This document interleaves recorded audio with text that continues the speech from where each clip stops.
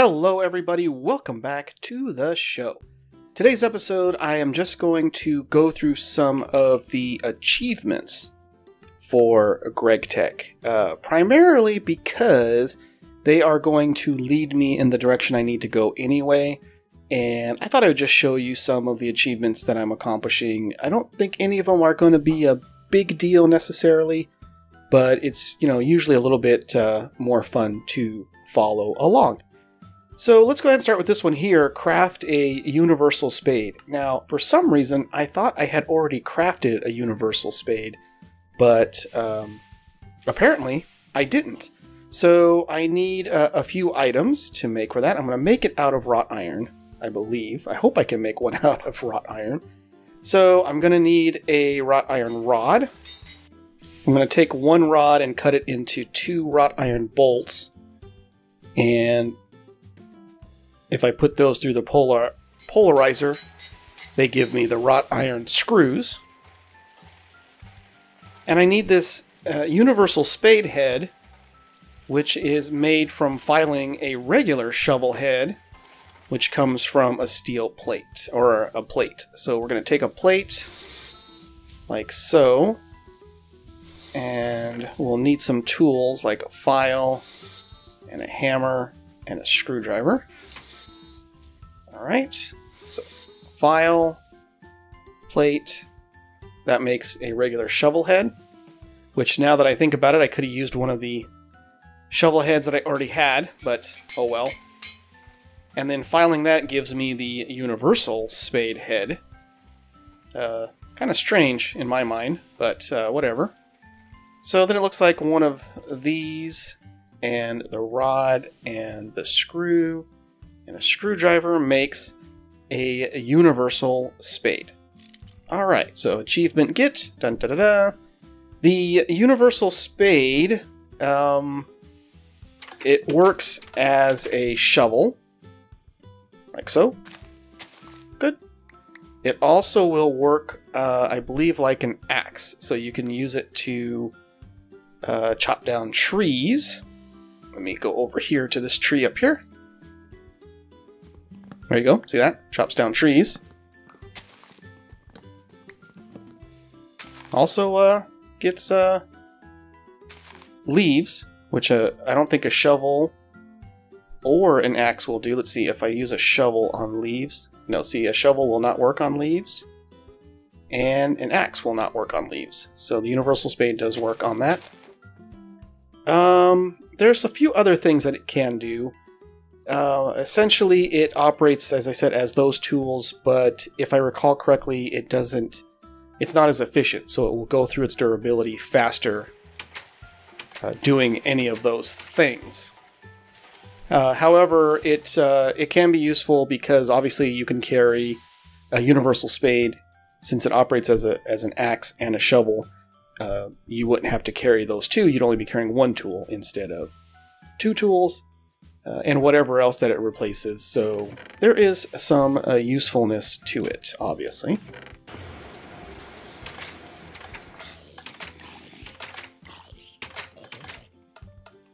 Okay, the next one I'll go ahead and do is make this high pressure boiler. High pressure boiler. Uh, does require some steel plates and some uh, bricks. The high pressure boiler uh, works similarly to these uh, coal boilers that I already have. They are just, uh, I think they're more efficient or they make the steam faster. They also do burn through the coal faster as well. So there is a trade-off there. But uh, these are pretty easy to make if we have some bricks like so. We go like this with a furnace and then five steel plates. And we have a high pressure coal boiler. I don't think I'm going to actually use it, at least not right now. I may uh, look into things a little bit later to see if that's something that I want to do or not. But that's another achievement down the drains. Okay, the next achievement I'm going to work on is uh, this one here to craft a low voltage conveyor. And at the same time, I'm also going to work on this one to craft a low voltage robot arm. So if we look those up, like so. Here's the conveyor uh, modules. They're called conveyor modules. And you can see that there are different kinds for the different uh, tiers of voltage. And as you can see, this one will move one stack every 20 seconds if it's used as a cover. And this one would move one stack every 5 seconds, and as you can see, they get faster and faster. And what that means is that you can uh, use item pipes, which also exist in GregTech, put this on as a cover to that that's attached to, say, an inventory of some kind, and it will move one stack out of that inventory every 20 seconds into the item pipes. And then, of course, they would flow down the item pipe to uh, wherever you might have them going to. So that's great. The robot arms are somewhat similar. Can see there are again different tiers of robot arms and they insert into specific slots when used as a cover. So they would take the items from a uh, from an item pipe and I think and then they would put them into a, a particular uh, slot of a machine. So, uh, say if you wanted to put items into this slot, or in this case, you might have two different slots that you're putting items into, like with an alloy smelter or something like that. So, let's look at the uh, the recipe for these. The conveyor that we're going to make two motors, tin cables, and some rubber sheets. That's not too terribly hard. The rubber sheets will be expensive because I think I mentioned this in the previous video. The only way that I know of to make them is using two rubber bars with this uh, plate mold, which I made. So that I'll have to do. And the robot arm, let's see, cables, two motors, rods, a circuit, and electric piston. So with all things that we have made so far. So I'm going to work on making those, and I'll be back. Okay, so I think I have the necessary components. So the first thing I want to make is two conveyor belts like this. One, two, and there's the transport achievement. And the next thing I'm going to make are these robot arms, and I'm going to make two of those as well. And so pistons, electric motors, and some steel rods. Boom! Two robot arms. Achievement get for complex machines. So awesome. So awesome. So let's go look at our achievements now.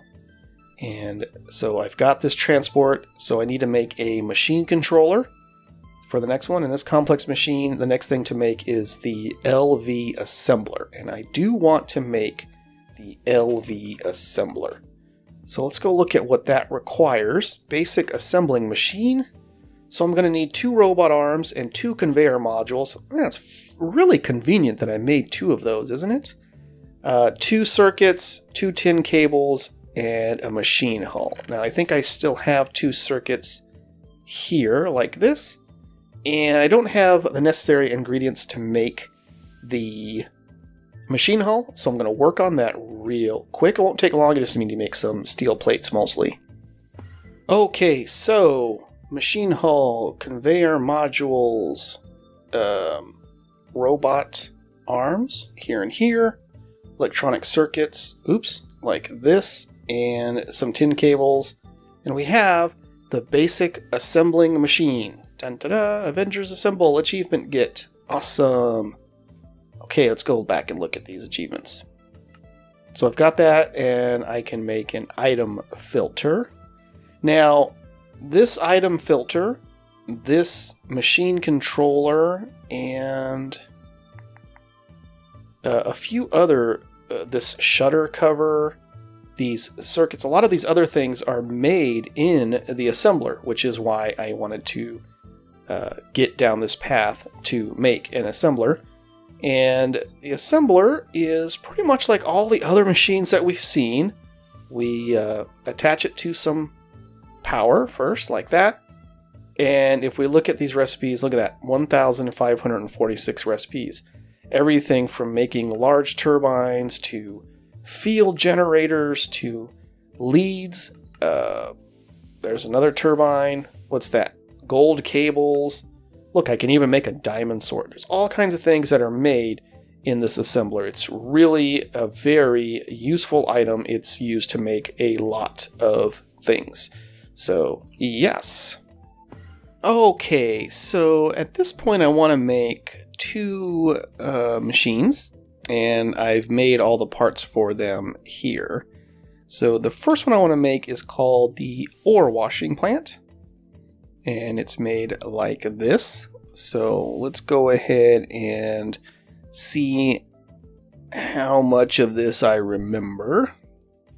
This is always the challenge, right? Like I, I uh, make a, I look at the recipe, but then I have to try to remember how to put it all together. So there we have the basic ore washing plant. Good. And the next one is the thermal centrifuge. And it looks like this, with all these parts. And I guess I could do that, which would make things easier, but sometimes I feel like I should challenge my memory a bit, make it a little harder, but maybe that's just a silly way of doing things. And there we have the basic thermal centrifuge, and both of these run on low voltage power. Now, what these are used for is for ore processing. These two machines allow me to uh, extract a little bit more out of the ores. There's an entire processing chain based upon uh, working with ores. But for example, let's take this sulfur ore. If I put it through a macerator first, I get this crushed sulfur ore. And then at that point, what I've been doing is that I hammer it into impure sulfur dust, I then wash it and get uh, regular sulfur dust. Uh, I could also, you know, that's from just washing it. But the other thing I could do is I could take that crushed sulfur ore and put it through an ore washing plant. You'll see I'd get a tiny pile of sulfur dust and then this purified sulfur ore. That purified sulfur ore I can then put through a thermal centrifuge and get another tiny pile of sulfur dust. Now each one of these tiny piles of sulfur dust is one ninth of a full sulfur dust. So this centrifuge sulfur ore I could then uh, hammer it and then I would have, you know, a piece of sulfur dust or uh, I could put it, or I guess that's probably all that I can uh, do with it. So basically by putting it through the uh, ore washing plant and the thermal centrifuge, I end up with a little bit more of that substance than I would without running it through these two machines. So with sulfur, it works kind of that way, but with with some other types of ores, you end up with even better type of a return. So let's look at something like bauxite ore, right? This gets crushed into a box, crushed bauxite ore, and then when it runs through an ore washing plant, I get some of this grossular dust. I don't know what that is, but it sounds cool. And then you can see I get a piece of rutile dust. Ooh, okay. Uh, let's look at something like this aluminium ore. Aluminium ore, if I macerate it and then run it through here, I get a tiny pile of bauxite dust. And then run it through thermal centrifuge and I get another tiny pile of bauxite dust. So in addition to getting uh, the aluminium, I'm also getting some um, bauxite dust as well as as well. and then this ilmenite ore, okay?